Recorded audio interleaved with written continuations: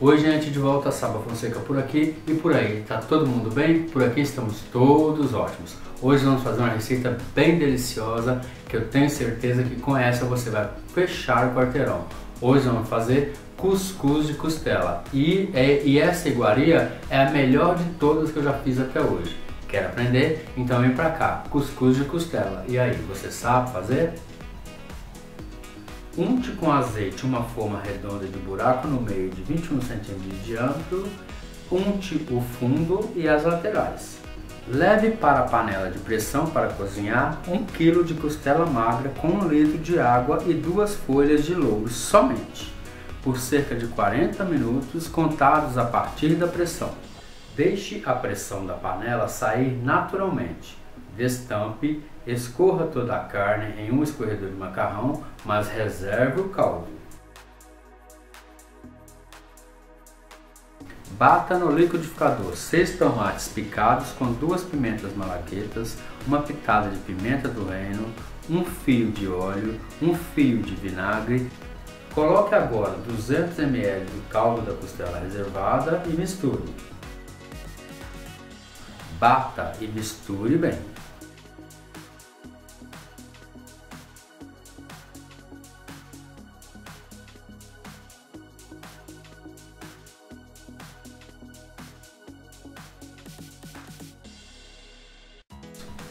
Depois de fria e escorrida, desfie toda a costela, descartando as gorduras em excesso e os ossos.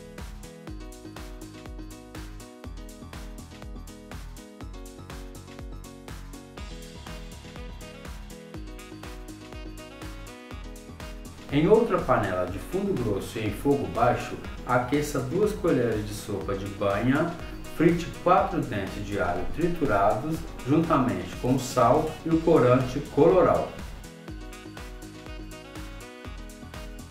Refogue a cebola roxa até dourar.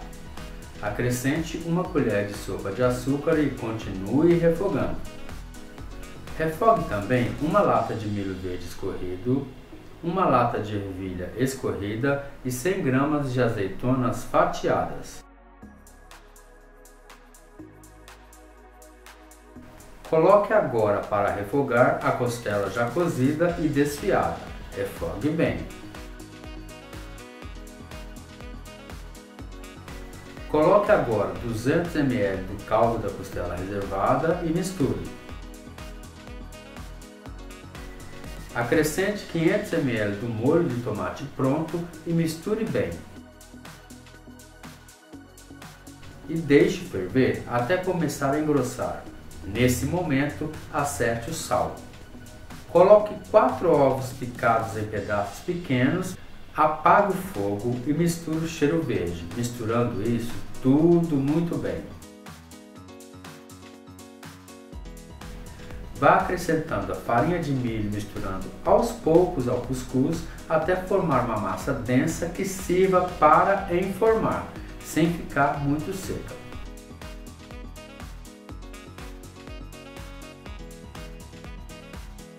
Corte 8 rodelas de ovos e forre a parte de baixo da forma já untada, de modo que a gema fique com a parte virada para baixo.